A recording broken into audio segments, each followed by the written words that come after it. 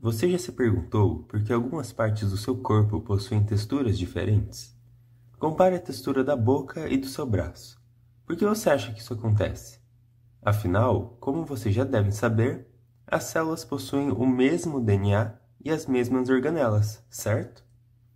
Na verdade, nosso corpo é muito mais complicado que isso.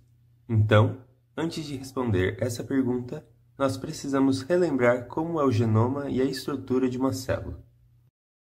Como vocês devem ter aprendido, uma célula padrão tem diversas organelas, como mitocôndrias, retículo endoplasmático, complexo de Golgi e, obviamente, um núcleo.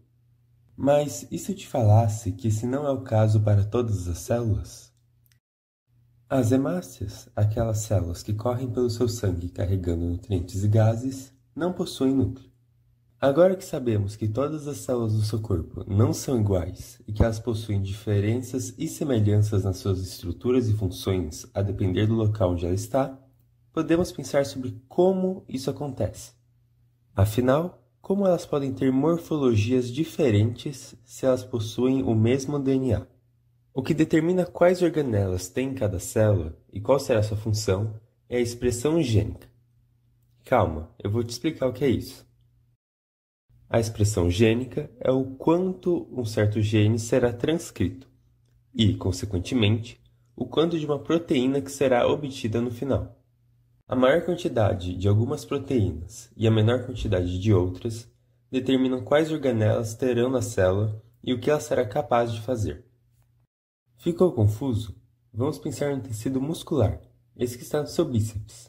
Tenho certeza que você adora contrair ele na academia. Mas você sabe como isso acontece? Para ocorrer a contração muscular, é preciso que haja células do tecido muscular estriado esquelético. Essas células conseguem se contrair pois possuem sarcômeros, que são formados pela interação de proteínas como actina e miosina. Portanto, dentro dessas células ocorre a maior produção dessas proteínas para que elas possam realizar sua função corretamente. Células e tecidos que não têm como função principal a contração e movimentação não precisam de níveis tão altos dessas proteínas. Conseguiu entender como a quantidade de certas proteínas afeta o que tem dentro da célula e qual função ela realizará? Então, você também deve estar se perguntando: mas como elas produzem proteínas diferentes se o DNA de todas elas é igual?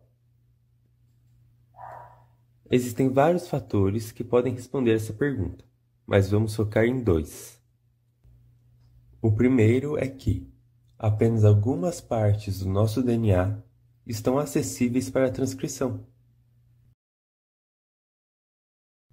Existem proteínas que deixam algumas partes do nosso DNA bem juntinhas e compactadas, dificultando a produção de proteínas no final.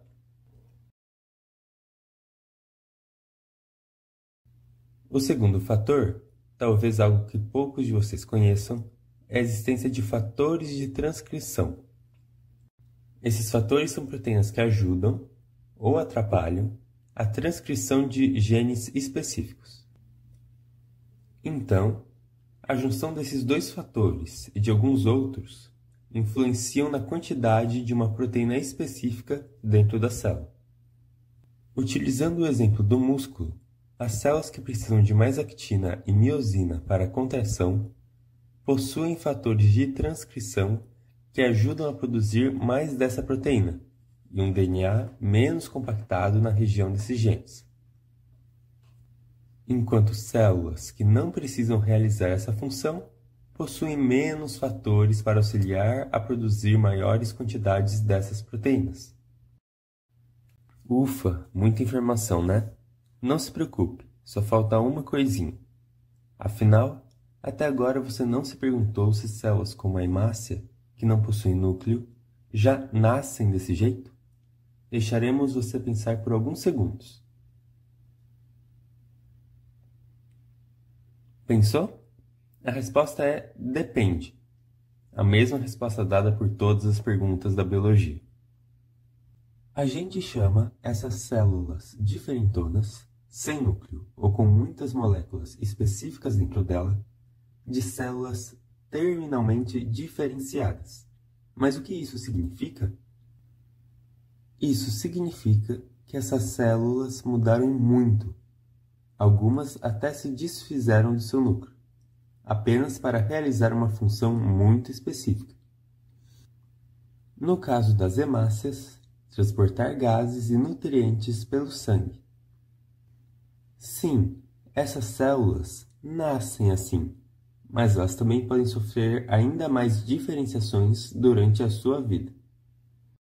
Normalmente, uma célula comum, igual a essas que a gente vê nas aulas de citologia, sofre várias mitoses e vai se diferenciando em uma célula bem especializada em uma função. A mãe Demácia, que morava na medula óssea, foi se dividindo e mudando as proteínas que tinham dentro dela, até que no final ela se tornou uma hemácia, sem núcleo nem nada.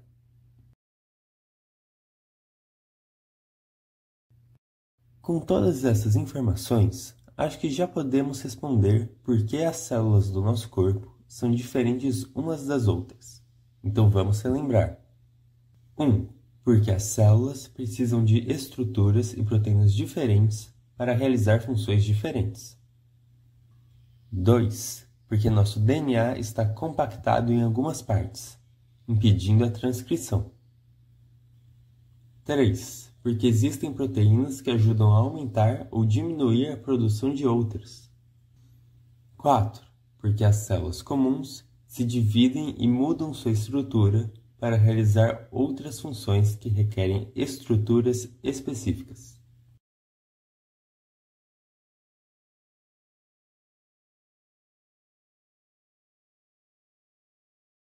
Ufa, você está aqui ainda? Espero que agora tenha ficado mais fácil de entender porque a textura da sua boca é diferente do seu braço. Tchau, valeu por ouvir.